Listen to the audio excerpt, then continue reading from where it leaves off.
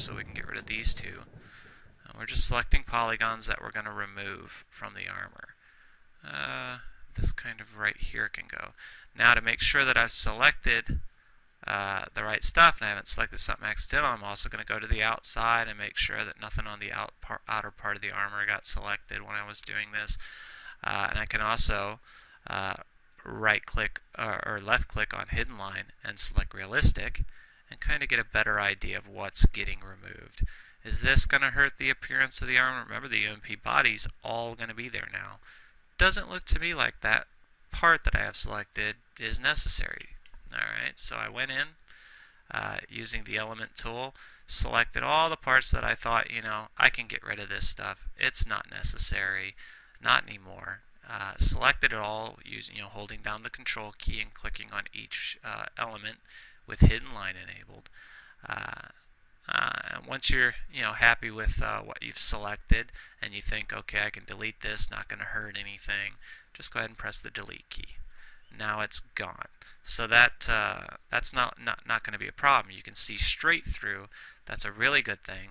And it's also good to go up here, you know, aim yourself underneath at the bottom of the armor, go to realistic, uh, left click on that and then select hidden line because sometimes there may be something in there that you can't see with hidden line not selected. Make sure there's nothing in there. Now we could go even more in depth, zoom in and select all these individual little polygons because they're not necessary. They're inside the armor. They're part of that we what we deleted. But for now, you know, if you want to, you know, you can. Uh, for the purpose of this tutorial, since it's just a simple, uh, simple basics that we're learning here, I'm not going to deal with that. I'm just going to leave those there. Uh, okay, now I'm going to click on hidden line again with the left mouse button and click realistic. And we're going to see how this looks. I'm going to right click anywhere in the perspective window and I'm going to click on unhide all. There we go. There's our UNP model again. Remember, it's still frozen, so we can't export it like this. Uh, we kind of, since we remove things, we want to zoom in uh, near the area that we removed, and we kind of want to look. Yeah, it's pretty far away now. That's not going to look very realistic in game. So before we do anything, we want to move this hip area closer to the body since we deleted portions of the mesh itself. So now we got to move it closer because we've deleted portions of the mesh. So the best way I've found to get closer to the body from the front and the back points is I'm going to select uh, here in the left view pane and I'm going to uh, use my scroll wheel to zoom in, use my middle mouse button to move it where I want it. And now I can see, if you look real close, there's the grayer area uh, that is uh, that's the UNP model and then we have the white area which is the selected armor. Uh, to move this what we're going to do is we're going to go over here to the selection and we're going to select vertex. Alright, anytime you want to move the armor closer to the body, vertex is usually the way to go. Alright, now where I want to move it is kind of closer near the uh, area right here because that's right in this area. If you look, you got to kind of eye it and see where you're at. And you want to just left click uh, you know off to the side drag your mouse over select uh, you know a good portion of it and then release. Just you know kind of keep your selection of the vertices central to the area that you want to move in. I'm going to go over here I'm going to use soft selection by checking on that so when I move it it moves more fluently uh, 7 now this is a large portion of the body so we're going to set this to 10 uh, so it moves more, so it looks more fluent. And I'm going to right click in the left view pane and select scale. Alright.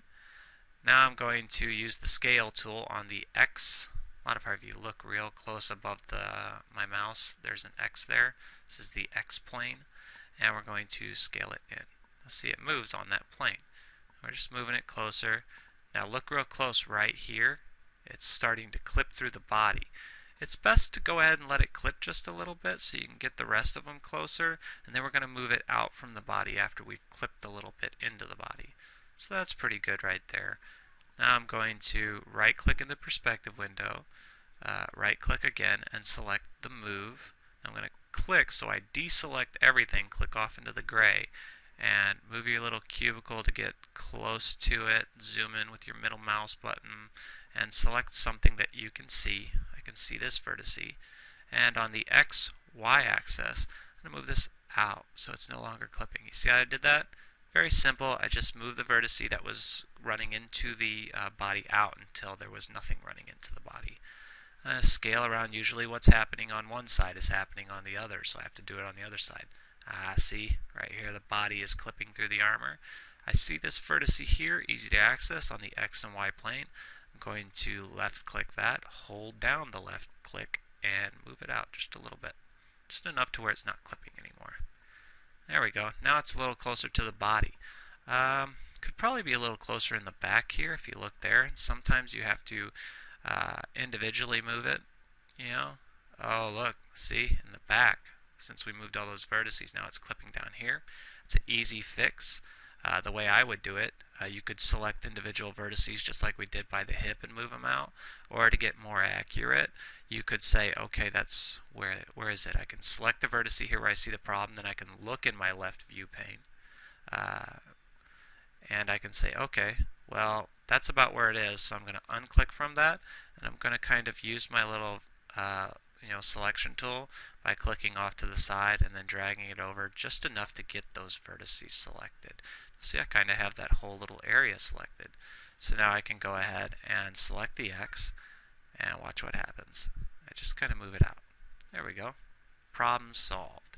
Now the armor fits a little better, you know, and you can toy with this method throughout the entirety of the body, but just stick to the basics now, stick to what we're doing, get the hips a little closer, and, uh, you know, when you get uh, comfortable with that, you can begin moving more things closer, like the skirt, uh, which let's go ahead and move this skirt a little closer while we're at it. We'll go down here in the left view pane because remember we're moving uh, something from the front and the back. We want it both closer. So we're going to go down uh, to the left view pane because it's easier to make sure we get a proper selection. I'm going to select everything down here near the bottom of the armor just by left clicking, dragging my selection tool over till it has all of them and get them all. Now remember what we used before? We used the scale tool to move closer. So I'm going to right click, select scale, hover over the X and kind of move it in. You know, just enough to where it's moved closer. Alright, once I'm comfortable with that, hmm, you know, it kind of now it bulges a little bit, so let's select these where it's bulging, and we can move those in too. No, it's not bulging anymore, see? It's a little closer to the body, it's not bulging anymore. Uh, we still have it out enough to where we're not going to get clipping in the waist area. If we move too close in this area here, you're going to get some major problems uh, with this type of armor. So you want to leave kind of a hump uh, out from them anytime you have to focus on that area with something like a, like a skirt. Uh, that's what you're going to want to do. So now we're closer to the body there. Uh, what else could we do to make it a little more refined and sexy? You know, by the boobs, that could be moved in a little closer because you can kind of see a gap here. Let me zoom in, you can see what I'm talking about. See this gap?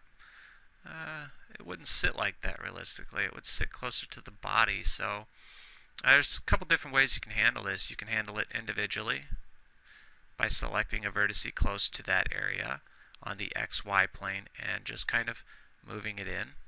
That's one way to handle it, but you see what's going to happen here? In a clip, if that happens and you're doing it with this method, all you have to do to fix it is go to where it's clipping, select the vertex really close to that, and move it out. Okay? It's just like clay, you know, you move one part, then you got to fix another part. But in doing so, now we're still closer because I moved it closer than where it clipped. I moved it away by selecting a vertex close to where it clipped. That's just the whole process. Very simple process uh, to get your armors to look more refined, more sexy, closer to the body. I'm just going to do it on this side too. Kind of get it closer. Uh, see, it's clipping down here, so I select the vertex close to where it's clipping. Move it out. And there we go. It's a lot closer to the body, a lot more form-fitting, which is what you want. You want your armor to be form-fitting. And uh, the waist. Can we get closer on the waist? Well, the best way to check the waist is go to your front view pane, use your middle mouse button to move it up and down, and then scroll wheel to get closer. Hmm, that's pretty close. If I move in closer, I may have problems. I could probably take the hip right here, farthest away point, and uh, you know select some vertices in here by dragging across all of them. Uh, it's selecting a lot. Maybe we should drop this fall off down. Let's take it down to, I don't know, how about a three? Let's see what a three looks like. Yeah, 3 is pretty central to that area of the fall off. And then I'm going to right click here, click scale on the X plane. I'm going to move it in a little bit, you know, just to make it a little bit uh, more form-fitting. Doesn't look like anything clipped when I did that. You can move around the armor to kind of double check. Looks good. Another thing I can do is if you look right here, I seem to have some room in the back to move it closer.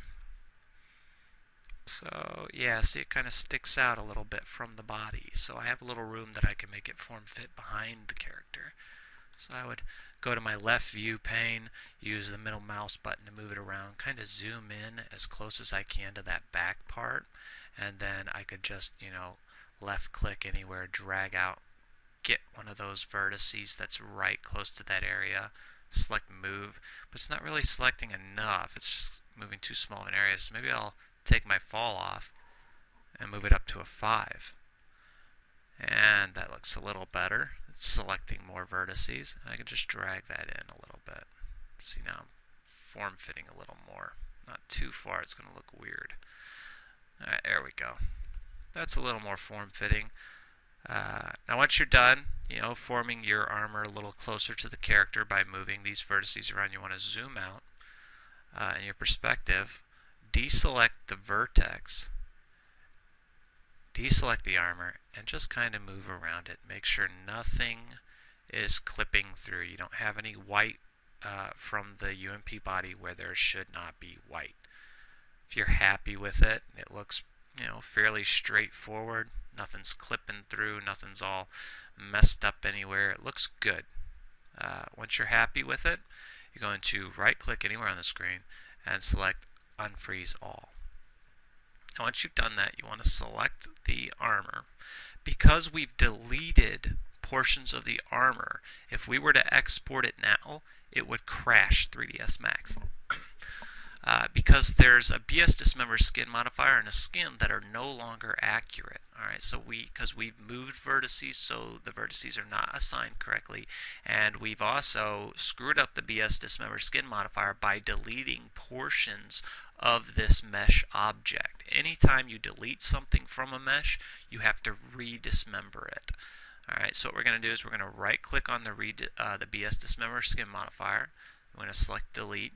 And we're also going to right click on the skin modifier and we're going to select delete.